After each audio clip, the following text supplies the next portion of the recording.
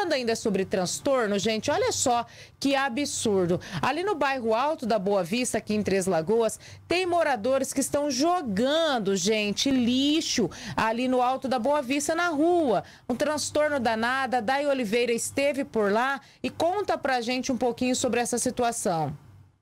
Além do descarte incorreto, tem de tudo por aqui: restos de comida, animais mortos, móveis velhos.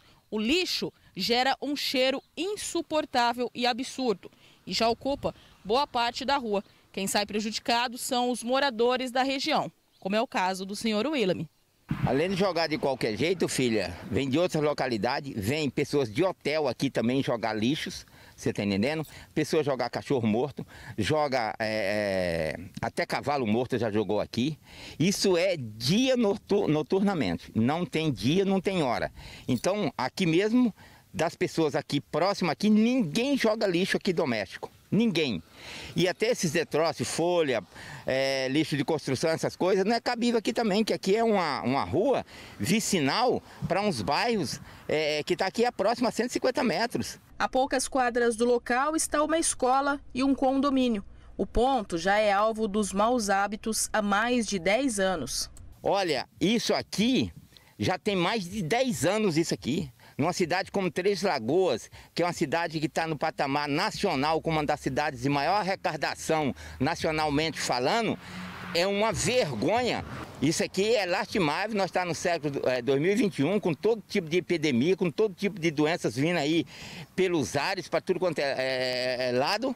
Isso aqui escorrendo a céu aberto. Quando chove, filha, isso aqui desce de estado de decomposição aqui para baixo, vai até para dentro do condomínio aí, ó. Então, disso aqui deveria ter uma providência, porque a cidade é uma cidade riquíssima em arrecadação e hoje nós temos dois lixão, aquele que os caminhões vai lá e esse daqui.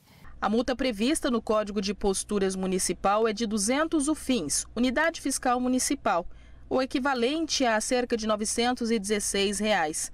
Dependendo do tipo de lixo, a quantidade ou dano que o material pode causar ao meio ambiente, o ato poderá ser enquadrado como crime ambiental, de acordo com a Lei Federal número 9605 de 1998, cuja multa mínima é de 5 mil. Reais.